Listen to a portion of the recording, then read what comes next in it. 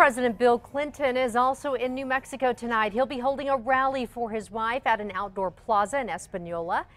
And as you can see, a crowd has started gathering this afternoon, but more people are expected to arrive as we get closer to the event, which begins at 6.30 tonight. The former president is on here on Hillary's behalf as she stumps in California.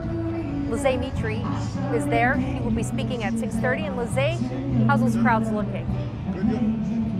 They are finally starting to stream in. It started with a big line. They're finally coming into this roped off area. The music is going. Everyone's just trying to get a good view of where the former president will take the stage tonight. As I said, there were long lines of people in blue shirts supporting Secretary Hillary Clinton, waiting out here for about an hour, all excited and honored that former President Bill Clinton chose Espanola. Excited to be able to see him this close up. I mean, it's remarkable in this area. And I'm hoping to shake his hand. I think that's great. I think that's wonderful. I'm looking forward to seeing him.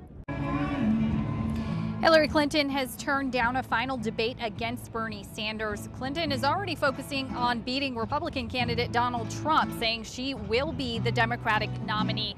We haven't heard yet if Hillary Clinton will be making a visit to New Mexico herself. Back to you. All right. Thank you, Lizzie.